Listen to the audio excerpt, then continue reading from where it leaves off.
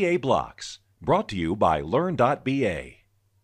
Let's actually dive into the question that you had uh, asked in our uh, from our backlog. And so the question that we had uh, come to us uh, it has to do with SQL, which is uh, again what we just talked about. But uh, how important is SQL for business system analysts? Is SQL for business analysts different than that for developers? And the answer I provided in our community was that um, SQL is one of the most commonly requested languages for employers that want to hire business systems analysts. And I'm going to elaborate on that a little bit more. The SQL used by developers is exactly the SQL that's used by business analysts, but BSAs typically only use a small subset of the SQL that developers do. And so that was the response that I gave. Let me elaborate a little bit more on each of those points. So, uh, SQL being the most commonly requested skill, uh, I have pulled up a couple of slides from our SQL for Business Analysts course that we're that we're currently building, and so I'll use those to explain what SQL actually is and what uh, types of SQL business systems analysts typically need to understand. So this is a slide. Uh, it's a bit of a, a rough slide from our SQL course that kind of explains what SQL actually is. And so uh, basically, for those uh, people who are completely new to the subject of SQL, essentially what SQL lets uh, you do as a business systems analyst is to run what are called queries or statements against directly against a database of a system and to get some sort of a result out. So typically, uh, what the, the way that normally users use a system is that they'll have a screen where they go in, they might type in certain data into fields, you know, click a save button, etc. With uh, an enterprise level software, what the system does is it takes that data from the screen, from where the user has done it, and it stores it in the database. Now, the screen and the database in enterprise level software are two completely separate components. What SQL lets you do is to tap directly into the database without actually even looking at the application that supports that uses the data from that database. And so what this slide basically tells you is, is that learning SQL is kind of a way of working with data under the hood of a system uh, without having to go through the application, without having to go through the screens that normal users would use. And uh, so the way that it typically would work in an example like this is that you would write a, a query that, you know, let's say the select statement is a type of SQL statement that you can write. You would write uh, a statement or a query like this, and then you would execute it against a database that exists for an application. And then what that would do is it would provide you with a result that shows you the data that you asked for.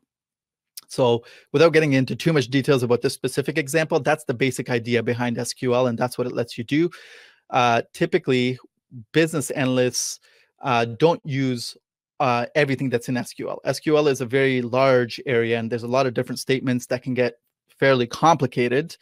Uh, and so this is another slide that we have from our course, which is mm, uh, aimed at explaining to you the areas of SQL that business analysts, business systems analysts may be expected to use. So, for example, uh, the five categories of SQL here are uh, are all listed on the page here uh, business analysts typically focus only on categories number two and especially category number three, which is the select statement.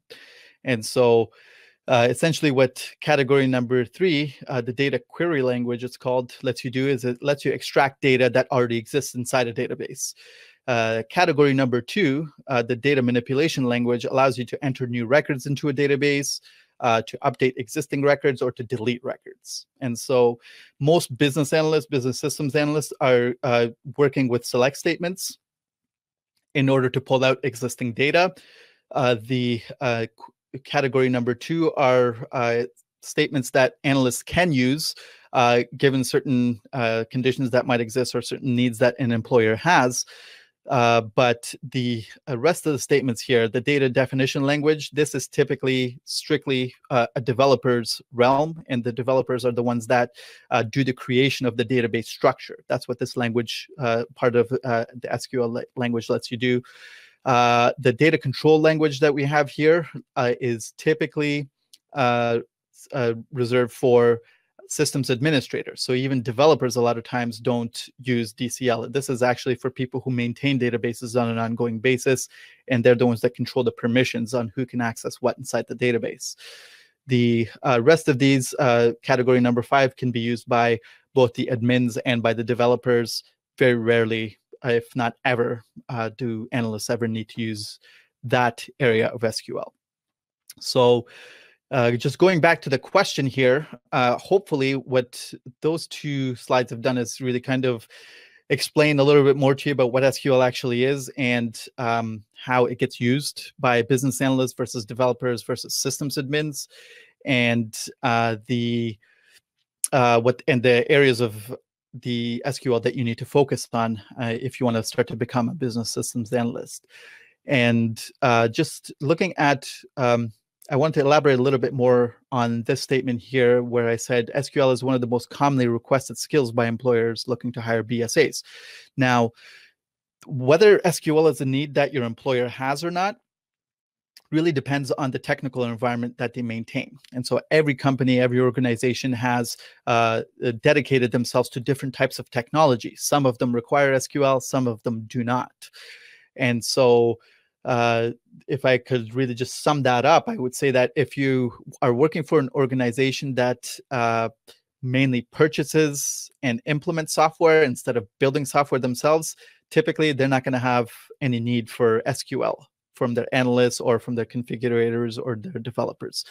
If you have an organization or a company that does a lot of custom built applications, they do uh, they build their own software in house then SQL starts to become uh, a very important skill for both the business systems analysts and for the developers to have. I mean, the developers, it'll be mandatory skill.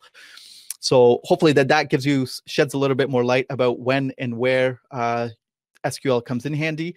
What I would like to do in one of our future live sessions is to actually start going through some job postings and um, just based on the types of things that an organization asks you for you can start to make sense of their technical environment and start to get a, an understanding of uh, the types of technologies they've kind of committed themselves to and the type of things that they would ask you for if you want to become a business systems analyst. So there's uh, there's a lot of different things that we could talk about that where you can learn about uh, how an organization structures itself just by looking at the job postings so uh, that is just taking a look at the time here. Uh, we are uh, a little bit early. I hope, Nirman, that that has answered uh, the question in a little bit more depth. I know that you have a lot of really great questions for us, uh, and we've captured all of those in the backlog, and we're going to start going through them uh, one by one as, as we go through. but the questions so far have been excellent and I hope you've gotten a, a, a, full answer for it. If not, again, you can just respond to that question, and I can start to answer questions that that you might have uh, that are follow-up questions for that. Uh, since we're a little bit uh, early here, I'll open up the floor to see if we have any uh, other questions coming from the members who are with us here in the session. And um, so I'll wait a minute for that.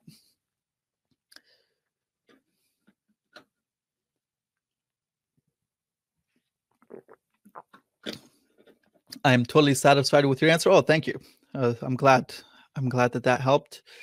Um, so I'll assume that there's no other questions. If you do have questions, again, uh, definitely throw them into uh, the different areas that we have in our inside of our community, and we're going to continue to uh, start to just go through the backlog of questions and answer them. There are a lot of other members who are more senior members inside of our uh, community that are answering a lot of